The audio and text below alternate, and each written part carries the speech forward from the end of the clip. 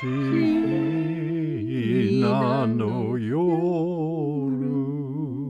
song was the theme song of a movie which is called China Night. And the idea was that we would hear spoken Japanese because the movie was a propaganda film to show that the Chinese and Japanese could get along.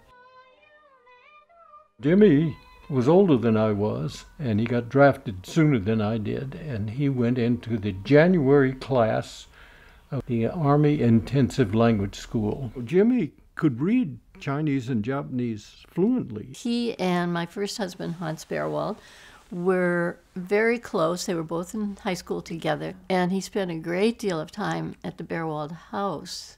So, this was Jimmy's introduction to Oriental art. Professor Cahill was the field of art history of China at the University of California at Berkeley for decades. Jim Cahill was, in a way, the pioneer of, of Chinese art history, and I mean that in a particular sense, the narrative of Chinese painting. Jim always emphasized the work of art itself. I don't know anyone who, who opened the field to more eyes and opinions and uh, exposed more types of pictures and had a wider ranging curiosity about everything. He had an analytic way of seeing, and he would look at pictures in a way that was both appreciating but also simultaneously dissecting the image. He was in charge of uh, opening up this chest of Chinese paintings that had been unknown to the West. It was really the first time anybody outside of the museum, the National Palace Museum, that is, have encountered these uh, objects and, and artworks. Ultimately, just put his name on the map because the Skira publication was very successful. In 1974, he received an invitation from the U.S. State Department to join a group of archaeologists who would travel to mainland China at their invitation. And he then regularly, yearly, was invited back, either to lecture or eventually to stay for periods of time and teach there. He was not afraid to take on the establishment. He would not kowtow to the cultural authorities, either in the mainland, in Taiwan, or in Europe and the United States. We met at the, the International House in Washington, which was a Quaker um, group. And he, there was a piano in the living room, and he left his music on the piano, and I told him that if he did that, it would be stolen, and it was stolen. His parents, I think, were divorced when he was very young, and he spent half the time with someone his mother chose who dressed him in lavender linen suits, and the other half of the time he spent with someone his father chose and went barefoot. Oh, he was a very good father. He really was. To me, Jim is not just a person of great learning, a articulate scholar in Chinese art, able to persuade other people to show interest, but also somebody who knows uh, art from other angles music, films, opera. He had a large collection of 78s, and that's the way we would really listen to music. He would stack them on the, on the player. They'd drop one by one, and that was part of the whole music listening experience for me was the thunk of the 78 coming down. He'd get out his pipe, he'd smoke his pipe, and we wouldn't do anything else. We would just sit there and listen to you know, Mahler's Ninth Symphony or Das Lied von der Erde, he loved. I remember my father building a ship. I was very interested in whaling at the time and Moby Dick and so forth. And so my dad built us a ship, or built me a ship in the backyard out of scrap wood with a mast and a crow's nest that I could climb up to. And um, he, he was very interested in building things. We did one exhibition called The Restless Landscape I think there were eight girls. We visited dealers and collectors and museums to pick out the pictures we wanted to use in the exhibition. And we all traveled together, eight. We went to Cleveland, New York, Boston, and Princeton. And people made fun of him and his eight female graduate students. It was something of a joke to have uh, eight women in a seminar, but Jim delighted in this fact.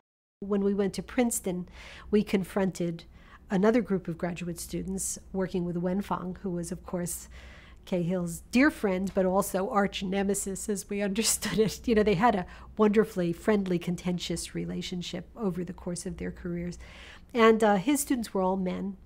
So it was a very interesting moment, and I, you know, Cahill has written wonderfully where he describes the moment when the two groups came together in his hopes that we would, of course, all fall in love and marry one another, and of course that didn't happen. But he found out after we got back to Berkeley that we were being described by our friends at Princeton as Cahill's red detachment of women. Jim, I think his scholarship, more than anything else, uh, it, it just vitalized our field. Wen Fong worked with museums and collectors, and it made it just big time, respectable, in a way that uh, otherwise it wouldn't have been. The Riverbank was a painting that belonged to C.C. Wang, who was a very good friend of Jim's over many, many decades.